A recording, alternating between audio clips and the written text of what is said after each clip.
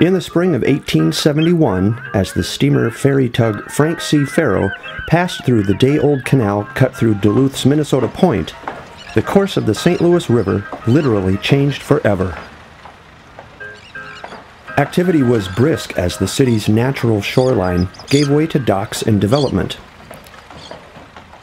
The harbor welcomed boats carrying cargo to both U.S. coasts.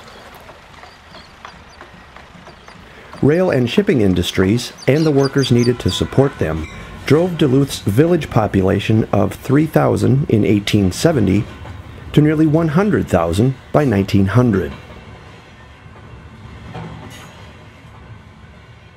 But at what cost?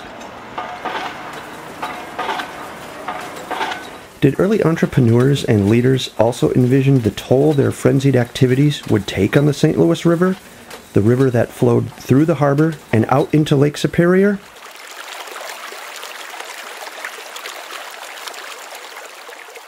It was perfectly legal to dump industrial wastes and sewage directly into the river. At the time, no one imagined the hundreds of millions of dollars their descendants would need to clean up the resulting 100 years of contamination above and below the river's waterline. By the 1940s, the State Board of Health pronounced the lower St. Louis, quote, pollutional. Beaches along the bay closed due to high bacterial counts. Tainted fish complaints and fish kills were common between the 1940s and 1970s.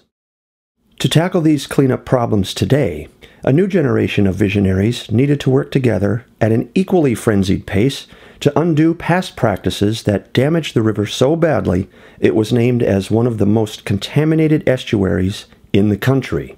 Minnesota politicians began supporting the river's recovery. In Washington, D.C., Congressman Jim Oberstar helped write the Federal Clean Water Act. In Minnesota, State Representative Willard Munger wrote policies that ultimately created the Western Lake Superior Sanitary District.